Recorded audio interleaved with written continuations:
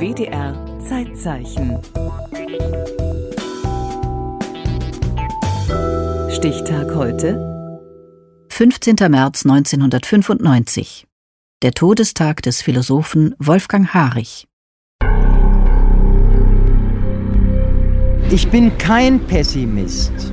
Ich bin auch kein Optimist, sondern ich bin für Realismus. Frankfurter Buchmesse 1975. Wolfgang Harich, Denker aus Deutschland Ost, zu Besuch in Deutschland West. Kommunismus ohne Wachstum? fragt der 53-Jährige im Titel seines neuen Buchs. Der DDR-Philosoph reagiert darin auf Warnungen des Club of Rome, der die ökologische Zukunft der Erde in Gefahr sieht. Nur meine ich, die Verwirklichung seiner Appelle zur Rettung der menschlichen Zivilisation setzt eben einen Kommunismus voraus, wie ihn in primitiver Form zur Zeit der Französischen Revolution der Babeuf entworfen hat.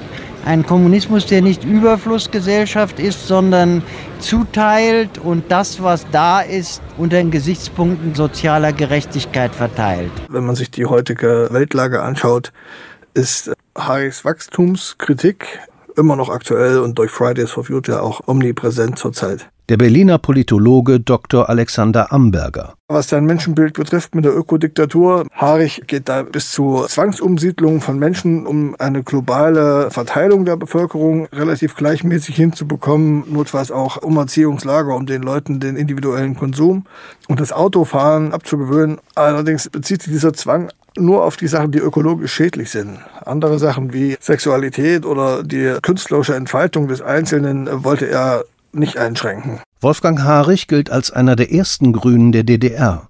Er fordert den Marxismus nach ökologischen Kriterien neu zu überdenken. Dass der Philosoph sein Buch Kommunismus ohne Wachstum in einem Westverlag veröffentlicht hat, scheint die sozialistische Führungsriege in Ostberlin nicht zu stören. Harich darf weiter reisen und in der Bundesrepublik so viel diskutieren, wie er will.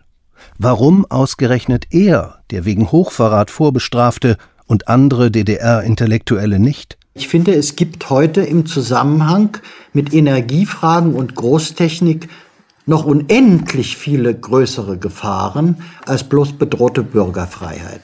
Nämlich die des Seins oder Nichtseins des Menschen auf der Erde überhaupt und des Fortbestands der Natur auf der Erde überhaupt. Sagt Harich 1976 im Gespräch mit dem einstigen Studentenführer Rudi Dutschke. Ich bin für Glück, aber es gibt eine glückvernichtende Art von Wohlstand. Wolfgang Harich wird 1921 im ostpreußischen Königsberg geboren. Er kam aus einem bildungsbürgerlichen Hause. Sein Vater war Autor. Das ganze Umfeld, in dem er aufwuchs, war ein eher intellektuelles Umfeld, nicht das klassische Arbeitermilieu, aus dem der Großteil der späteren SED-Funktionäre kam. 1944 desertiert Harich aus der Wehrmacht, taucht in Berlin unter und nimmt Kontakt zur kommunistischen Widerstandsgruppe Ernst auf. Damit ist der Makel der bürgerlichen Herkunft vom Tisch. Nach der Kapitulation Hitlerdeutschlands steigt er im kommunistischen Kulturbetrieb Berlins schnell zu einer festen Größe auf. Zunächst als überzeugter Stalinist, wie seine bejahenden Reiseberichte aus der Sowjetunion zeigen. Harich ist dann auch schon jung promoviert und habilitiert worden, bevor er 30 Jahre alt war. Das führte dazu, dass er ein starkes Ego hatte und auch ein dementsprechendes Auftreten. Ich habe mich mit Leuten unterhalten, die bei ihm studiert haben, Anfang der 50er Jahre in der Humboldt-Universität. Und er hatte schon Ausstrahlungskraft, war sehr charismatisch und kam wohl auch bei den Studentinnen besonders gut an. Auch der Westen zeigt Interesse. So versucht der US-Geheimdienst Harich anzuwerben. Mittlerweile Lektor im Nebenberuf, wendet er sich an seinen Vorgesetzten. Jetzt bin ich zu dem Leiter des Aufbauverlags gegangen und habe dem das gesagt. Aha, sagt er, ist gut, dass Sie das sagen. Ich sage, na ist, der erwartet mich. Dann und dann, da und da. Soll ich da hingehen, zum Schein drauf eingehen? Habe ich angeboten, nicht? War ja ein linientreuer Kommunist, nicht wahr? Die Order von oben an Wolfgang Harich lautet: nicht hingehen. Agentenspiele traut man dem Philosophen nicht zu. Auch kritisieren Beobachter der Staatssicherheit, kurz Stasi, immer öfter seine Vorlesungen. Er wollte sich nicht von Apparatscheks vorschreiben lassen, was er nun zu lesen hat und wie er was zu interpretieren hat. Und das ging schon bei Hegel los, der nach staatsoffiziellem Stalin Verdikt als Vordenker des Preußentums und damit des Faschismus verbannt werden sollte, wo Harich dann das berühmte Bonmot absonderte, ich lasse auf meinen Hegel nicht scheißen. Alexander Amberger, Autor des Buchs Baro Harich Havemann über marxistische Systemkritik und politische Utopie in der DDR. Das war sein Antrieb, sich nicht vorschreiben zu lassen, was er machen darf und was nicht. In der deutschen Zeitschrift für Philosophie, wo er Chefredakteur war, unter anderem mit Bloch als Herausgeber und Co-Autor, haben die sich im Prinzip damals schon gegen geistige Bevormundung gewehrt. Sie waren natürlich genauso Marxisten, Leninisten, aber sie wollten halt die offensive Auseinandersetzung haben. Die offensive Auseinandersetzung sucht Harich nach dem Tod des sowjetischen Diktators Stalin 1953 verschärft. Der 20. Parteitag der Kommunistischen Partei in Moskau lässt seine Hoffnungen auf ein Tauwetter keimen. Im Aufbauverlag gehört er zum Kreis der Gleichgesinnten. Sein Hauptziel die deutsche Wiedervereinigung in einem militärisch neutralen sozialistischen Staat. Und nun bin ich gedrängt worden, diese Dinge zu Papier zu bringen und auszuarbeiten zu einer Plattform. Diese Plattform war ja im Prinzip nur als Diskussionspapier, als innerparteiliches für die SED vorgesehen. Allerdings mit weitreichenden Forderungen. Nach mehr Freiheit, auch im ökonomischen Bereich, nach mehr Demokratie. Und das heißt 1956, Parteichef Walter Ulbricht muss weg. Für Harich als Philosophen ist die elfte Feuerbach-These von Marx zentral. Die Philosophen haben die Welt nur erklärt. Es kommt aber darauf an, sie zu verändern. Harich will die Praxis der Sozialistischen Einheitspartei Deutschlands SED nicht länger theoretisch legitimieren, sondern selbst zur Weltverbesserung beitragen. Und dafür geht er sehr weit. Was besonders krass war, er forderte halt, dass das MFS und die NVA wieder abgeschafft werden und die Opfer rehabilitiert. Harich plädiert also dafür, das Ministerium für Staatssicherheit und die Nationale Volksarmee aufzulösen. Mehr noch, er kontaktiert einen Vertreter der Westberliner SPD, um ihn über seinen Plan zur Wiedervereinigung zu informieren. Und er spricht beim Hamburger Nachrichtenmagazin Der Spiegel vor. In Hamburg hat Rudolf Augstein mir ganz dringend geraten, im Westen zu bleiben. Ich habe aber nicht drauf gehört, sondern bin zurück. Und da habe ich gerade meine Mutter und meine Freundin begrüßt. Dann klingelte es draußen Kriminalpolizei. Daraus wurde dann natürlich eine staatsfeindliche Verschwörergruppe konstruiert, die es in der Form nicht gab. Wie gesagt, er war selbst ja Kommunist, wollte nicht die SED und DDR überwinden, sondern nur reformieren, attraktiver machen.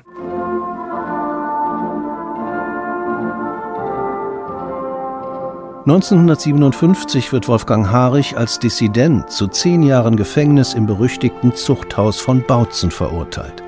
In einem zweiten Prozess tritt er als Belastungszeuge gegen seine ehemaligen Mitstreiter auf, so gegen Walter Janker, den ehemaligen Leiter des Aufbauverlags.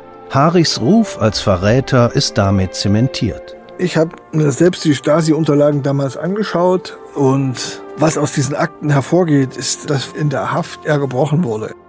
Ich war ja, wenn man von diesem Mann in der Untersuchungshaft, von der Verhaftung bis zur eigenen Verurteilung absieht, also von 29. November 56 bis 9. März 57, wenn man von dem Zellengenossen da absieht, war ich ja in Einzelhaft bis zum fünften Jahrestag meiner Verhaftung. Danach wird Harich mit einem lebenslänglichen zusammengelegt. Nach einigen Monaten erbittet er die erneute Einzelhaft. Ende 1963 60 haben sie mich dann wieder nach Berlin geholt und haben mir eröffnet, dass bei mir mit der Philosophenlaufbahn, das wäre zu Ende. Aber ich hätte ja auch Germanistik studiert und sie würden mir raten, mir auf diesem Gebiet ein Thema auszusuchen. Zwei Themen rücken in den Vordergrund. Zum einen Jean Paul und seine Revolutionsdichtungen, zum anderen die Werkausgabe des Philosophen Ludwig Feuerbach, die nach seiner Amnestierung 1964 angebotene Ausreise in die Bundesrepublik lehnt Harich aber kategorisch ab, trotz seiner beiden Herzinfarkte während der Haft. Also sorgt die Stasi für seine Rundumüberwachung. Wiederholt kommt er wegen Paranoia in ärztliche Behandlung. Seine Strategie Um nicht noch einmal als Verschwörer verhaftet werden zu können, hält er Stasi und SED über jeden seiner Reformgedanken auf dem Laufenden. Vor allem in Sachen Ökologie. Harich hat alles offen und transparent gemacht zu offen und zu transparent für manche in der SED, weil er, wie gesagt, alle Ideen, alles gleich kundgetan hat und hat auch dann mit dem MFS zusammengearbeitet als einen Adressaten seiner ganzen Vorschläge und Wünsche. Für die Stasi wird der marxistische Querdenker zur veritablen Nervensäge. Ende der 1970er Jahre revanchierte sie sich mit nächtlichem Telefonterror. Und das hörte in dem Moment auf, als ich einen Ausreiseantrag gestellt habe an Honecker. Mit dieser Begründung, dass ich also hier offenbar nicht gebraucht werde und so weiter. Da hört's auf. Und das kann natürlich nur Stasi gewesen sein, nicht?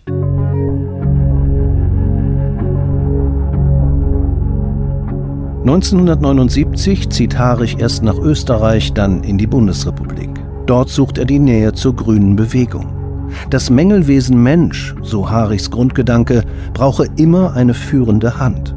Doch ist den meisten seine Welterrettungstheorie, die auf einer Ökodiktatur und einem Weltkommunismus mit starken Institutionen fußt, viel zu autoritär. Deswegen war Harich auch ein vehementer Gegner, im Unterschied zu anderen Oppositionellen in der DDR, von westlicher Freiheit, weil er der Meinung war, dass die westlichen Ideale von Demokratie, von Selbstentfaltung, Konsum und so weiter nur weiter in die Katastrophe führen würden. So der Berliner Politologe Alexander Amberger. Und deshalb sagte er, staatliche Zuteilung des materiellen Bedarfs des Einzelnen wäre die Lösung durch eine zentralistische Bürokratie, wobei er keinerlei Bürokratiekritik äußerte. Das ist eines der großen Defizite in dem Buch. Seinen Ruf als Verräter wird Harich aber auch in Österreich und der Bundesrepublik nicht los. Dafür sorgen DDR-Dissidenten wie der ausgebürgerte Liedermacher Wolf Biermann. Und so geht das Trauerspiel um eines der größten Talente der DDR-Philosophie weiter. Nach zweieinhalb Jahren zieht Harich, angeblich auch wegen Geldmangels, zurück nach Ostberlin. 1987 stellt er einen Wiederaufnahmeantrag in die SED. Aber auch da will man ihn nicht mehr.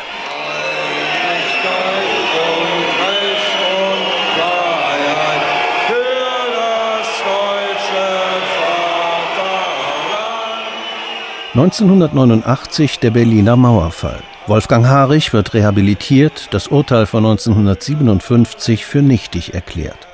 Doch Walter Janker, den er im zweiten Prozess belastet hat, attackiert ihn in seinem Bestseller Schwierigkeiten mit der Wahrheit als opportunistischen Denunzianten. Harich versucht sich mit dem Hinweis zu rechtfertigen, dass die Stasi damals ohnehin alles über ihren Kreis der Gleichgesinnten gewusst hätte. Sein Antrag auf Öffnung der Prozessakten, um die Methoden der DDR-Justiz offenzulegen, wird ihm aber verwehrt. Die Verhandlung ist damit geschlossen. Moment, ich stelle fest, dass Sie die wichtigsten Dinge gestern nicht hineinbringen, dass Sie mir damit ein Wiederaufnahmeverfahren aufzwingen, das an meiner Gesundheit und meinen Nerven zerren wird bis an mein Lebensende. Verdammter Dreck und Mist! In die Spur findet Wolfgang Harich nach der so lang ersehnten deutschen Wiedervereinigung nicht mehr. Denn in seinem Sinne sozialistisch ist sie nicht. Nach der Vereinigung weigerte er sich, gegen jenen Richter auszusagen, der ihn 1957 verurteilt hatte. Vermeldet das Nachrichtenmagazin Der Spiegel. Das kostete 800 Mark Ordnungsgeld bei 1340 Mark Rente. Wolfgang Harich stirbt im Alter von 71 Jahren. Mit einem Erinnerungsbuch kämpft seine vierte Ehefrau Anne um sein Ansehen. Titel Wenn ich das gewusst hätte.